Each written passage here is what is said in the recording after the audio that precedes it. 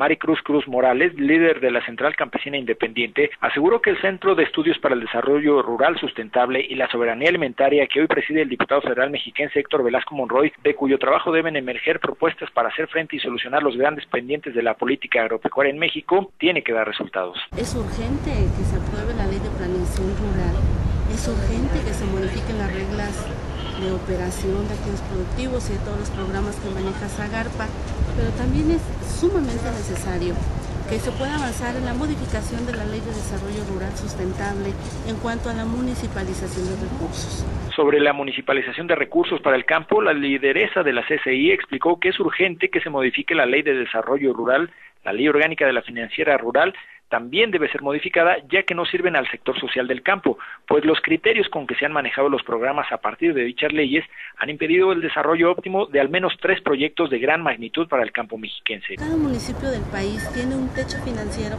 y no puedes desarrollar macro, macro proyectos o proyectos estratégicos agropecuarios.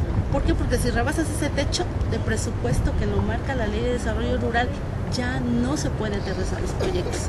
Y en este momento nosotros, como Central Campesina Independiente, tenemos, por ejemplo, en el Estado de México, tres proyectos estratégicos, que es la producción de jitomate en agricultura protegida, que es la producción de aguacate y la producción de, de, ganado ovino. Sobre el aprovechamiento que el sector campesino hace de los recursos de los programas, expone que es en el sector social campesino donde poco se ha obtenido del financiamiento al campo. Jamás la financiera rural nos ha querido decir en qué sectores se aplicó ese financiamiento, porque todos sabemos que es en el sector, eh, en los agroempresarios, en los que ya van más adelantados.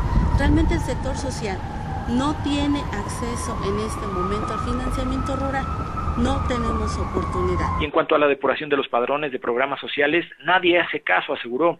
Hoy es necesario además que la visión de la política agropecuaria cambie. ¿Por qué? Porque la gente lamentablemente en el campo no digo toda, sí alguna, pues ya nada más está, ha tenido oportunidades ya pro campo y ya perdió el espíritu realmente por salir adelante, por establecer proyectos.